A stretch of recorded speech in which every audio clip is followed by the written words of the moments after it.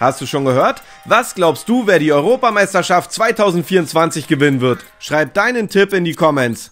Dardan und Loredana stehen beide zum Underdog Albanien. Ole, ole, ole, ole. AZ war sogar im Stadion und hat sich das Game Albanien gegen Kroatien live gegönnt. Massiv postet ein Foto von sich im Deutschland-Trikot, auch Kul Savas, Bushido und Family und Casey Rebel stehen zu Deutschland. Jawohl, Junge.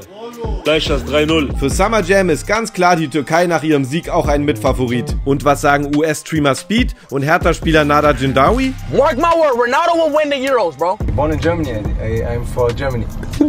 Auch Ali Boumaier steht zur Türkei, sagt aber auch, dass es eine saftige Überraschung geben wird. Frankreich fliegt in der Gruppenphase raus. Mega Überraschung.